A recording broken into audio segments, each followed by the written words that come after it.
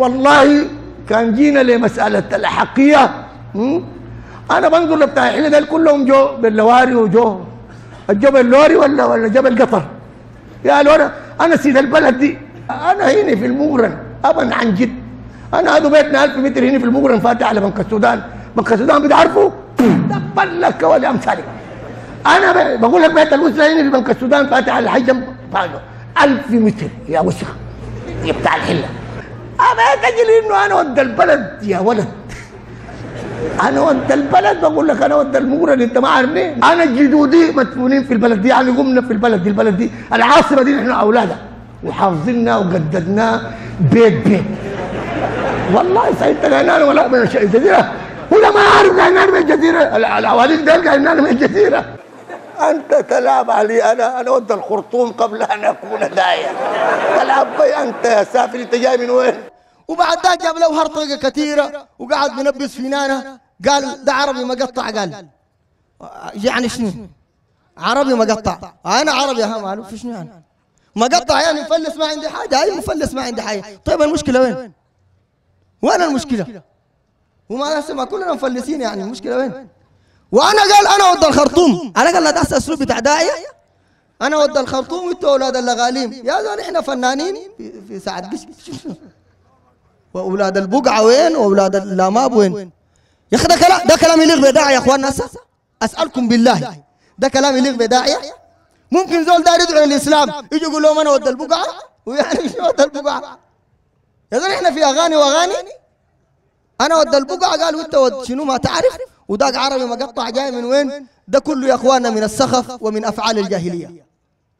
ده من فعائل الجاهلية. في صحيح مسلم النبي صلى الله عليه وسلم قال أربع في أمتي من أمور الجاهلية لا يترك لا يتركونهن. الفخر بالأحساب والطعن في الأنساب والاستسقاء بالنجوم والنياحة. دي من أمور الجاهلية يا إخواننا أنت جنسك كده وأنا جنسي كده. أنت قبيلتك كده وأنا ود الخرطوم. يعني شنو ود الخرطوم؟ والخرطوم ده شنو؟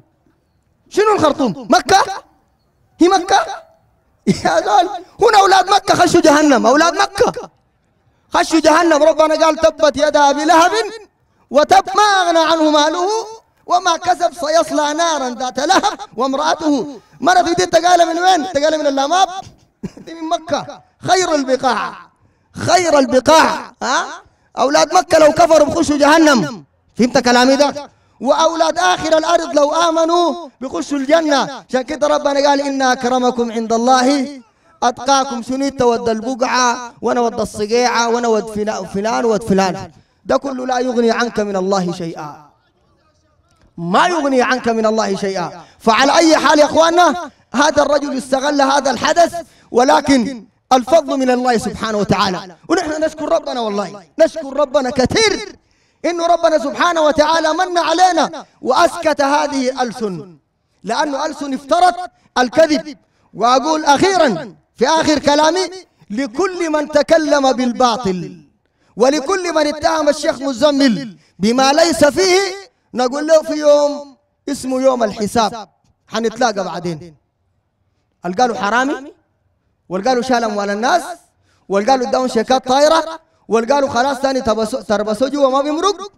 نحن نقول لهم نلتقي يوم تبلى السرائر. بعدين حنعرف الحرامي منه ربنا قال سيعلمون غدا من الكذاب الأشر. دي بنعرفها بعدين. وده موضوعنا مع زول. نحن موضوعنا معاك أنت كتجال. موضوعنا معاك موضوع الصحابة وبقية المواضيع. صوفية موضوعنا معاكم التوحيد والسنة. أخوان مسلمين غيرهم موضوع النقاش بتاعنا معاكم في أشياء معينة لكن أنا حبيت أدي معلومات عن الموضوع ده عشان كثير من أخواننا ما يكونوا دايشين ويعرفوا حقيقة الأمر. أكتفي بهذا القدر وأقدم شيخ مزمل فليتقدم مجزيا مشكورا من دعا إلى هدى كان له من الأجر مثل أجور من تبعه.